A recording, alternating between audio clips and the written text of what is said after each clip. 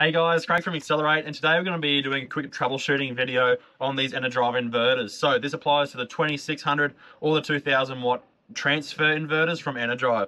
So number one fault that we obviously come across um, sometimes. So people turn the inverter screen on, it lights up, does all the other things normal, but you don't hear anything beeping. None of your 240 volt appliances are turning on. So a couple things to check. Number one thing, most common thing, RCD switch or RCBO uh, essentially 240 volt safety switch on the front of the inverter itself. Need to make sure it is set in the up position. So it is set on.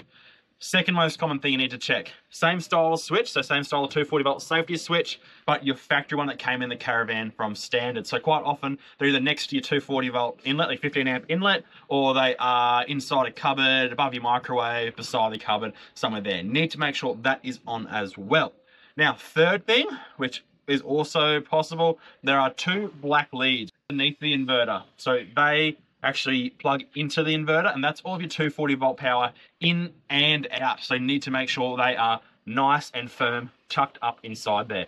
Um, so yeah, there you go guys. That's the three most common things. If you turn your inverter on, but you have no 240 volt power coming out while you're off grid, check these three things.